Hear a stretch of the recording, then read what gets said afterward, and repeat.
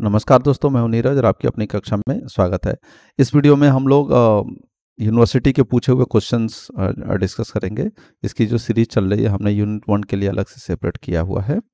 तो इसमें हम लोगों ने पहला प्रॉब्लम ऑलरेडी कर लिया है। अगर वो आपने वीडियो नहीं देखा है तो मैं ऊपर आई बटन में डाल दूँगा। आप वहाँ से जाके उसको देख सकते हैं। उसकी प्लेलिस्ट की मैं लिंक भी जो है, आपको नीचे डिस्क्रिप्शन में दे दूँगा। तो वहाँ से भी आप जाके उसे देख सकते हैं। तो उसी सीरीज़ में जो है प्रॉब्लम नंबर सेकेंड है। और जैसा कि हम सभी जानते हैं कि यूनिवर्सिटी ने जो है थ्योरम्स जितने थे बीटेक फ़र्स्ट ईयर के कोर्स में वो हटा दिया है नए सिलेबस के अकॉर्डिंग तो मैं उसी सिलेबस के अकॉर्डिंग और बचे हुए जो दो टॉपिक हैं नोडल एनालिसिस और लूप एनालिसिस उसी से रिलेटेड ही क्वेश्चन जो है मैं आपको फ़र्स्ट यूनिट का दे रहा हूँ। तो देखिए, उसमें ये सेकंड प्रॉब्लम है और जो कि नोडल एनालिसिस का एक देखिए क्वेश्चन में क्या कहा है कि find the current in eight ohm resistance using nodal analysis nodal analysis की मदद से एट ओम में आपको करंट फाइंड करना है। अब करंट फाइंड करना है किसकी मदद से? तो नोडल की मदद से। तो नोडल में हमें पता है कि स्टेप्स जो हैं वो क्लियरली पता है कि वो क्या होते हैं। तो नोडल का आपने अगर नहीं देखा है तो उसका भी मैं आ, जो है डिस्क्रिप्शन में प्लेलिस्ट दे दूँगा। तो पहले आप उनको ज़रूर देखें उसके बाद ये नोमेरिकल करेंगे तो आपको ज़्यादा आसानी रहेगी। तो देखिए नोमेरिकल में क्या कहा गया है? अभी हमको यहाँ नोडल लगाना है और नोडल लगाना है तो हम यहाँ सबसे पहले नोड असाइन करते हैं। तो नोड हम किसको असाइन करेंगे? नोड हम उसको कहते हैं जहाँ पे कम से कम दो या दो से ज़्यादा ब्रांचेस आपस में जुड़ रहे हो। तो अब देखो तो ये जो ये वाली पूरी लाइन है वो एक ही ब्रांच है। यहाँ पे आपको दिख रहा होगा कि एक, दो और इधर से तीन आके जुड़ रहा है, लेकिन ये भी यहीं आके जुड़ा है क्योंकि इनके बीच में कोई एलिमेंट नहीं है। तो हम चाहें तो इसको ए नोड मान लें या यहाँ पर भी लिख सकते हैं। आप जहाँ चाहें लिख सकते हो। तो ए नोड ये हो गया और नीचे ऐसे ही दूसरा नोड हो जाएगा आपका। बी तो ये हो गया आपका बी नोड अब इन दोनों में से एक को रेफरेंस माना जाता है और जिसको रेफरेंस मानते हैं, उसका वोल्टेज हम ज़ीरो वोल्टेज हम कर लेते हैं। तो हम बी को रेफरेंस मान रहे हैं, उसका वोल्टेज कितना मान ले रहे हैं? ज़ीरो और इसके अलावा आप जितने भी बचे हुए नोड हैं, उनको उनके नाम के अनुसार वोल्टेज हम लिख देंगे। तो ए है तो क्या लिख दिया जाएगा? वी ए अब अगला काम हमारा क्या है? अगला काम है हमारा सभी ब्रांच में करंट एज्यूम करना। रैंडमली जो भी आपको लगता है। ठीक है? तो आप यहाँ पे मान लेंगे आई वन यहाँ पर हम मान लेते हैं आई टू यहाँ पर हम मान लेते हैं आई थ्री और यहाँ पर हम मान लेते हैं आई फोर ना? तो इस तरीके से हमने एज्यूम कर लिया है। अब एक एक करके सभी नोड पर केसीएल लगाया जाता है रेफरेंस को छोड़ के। तो रेफरेंस को छोड़ देने पर एक ही नोड बच जाता है आपका। वो क्या है? आपका ए तो और ये ध्यान रखिएगा, ये करंट आप जिस भी डायरेक्शन में मानना चाहें, हमने इधर माना है, आप उल्टा मानेंगे, तब भी रिज़ल्ट सेम आएगा, उसमें कोई फ़र्क नहीं पड़ेगा।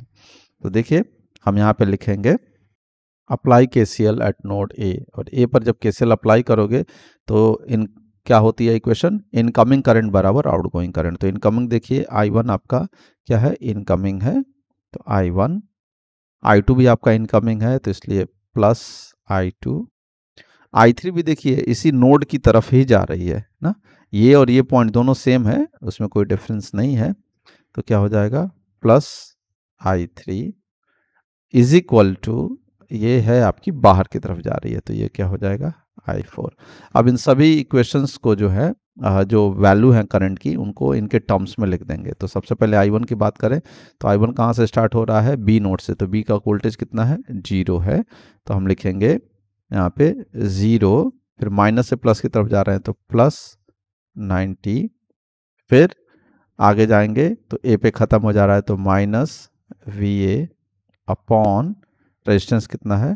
ट्वेंटी प्लस आई टू देखिए तो वो भी बिल्कुल इसी ब्रांच की तरह है, यहाँ पर भी तो कितना हो जाएगा? Zero plus sixty minus V A upon twelve plus I three I three देखिए कितनी वैल्यू है। यहाँ पे करंट सोर्स ही लगा है और जब भी करंट सोर्स लगा होता है तो उस ब्रांच में उतनी ही करंट फ्लो करती है जितना कि वो करंट सोर्स है। और आप देखिए तो हमने जो माना है और जो यहाँ दिया है, वो दोनों सेम डायरेक्शन में है तो इसलिए वैल्यू कितनी हो जाएगी? प्लस टू अगर अपोजिट होता तो माइनस के साथ लिखते। इक्वल टू अब आई फोर लिखना है। आई फोर कहाँ से शुरू हो रहा है? इस पॉइंट से। इस पॉइंट का मतलब ये भी तो हमारा ए ही है तो क्या हो जाएगा? वी ए फिर आगे जा रहे हैं, कहाँ पे एंड हो रहा है? इस पॉइंट पर एंड हो रहा है। तो ये भी क्या है? बी और बी का वोल्टेज कितना है? ज़ीरो तो लिखेंगे माइनस ज़ीरो अपॉन कितना आ जाएगा? Divided by resistance that is eight तो ये हमारा क्या हो गया?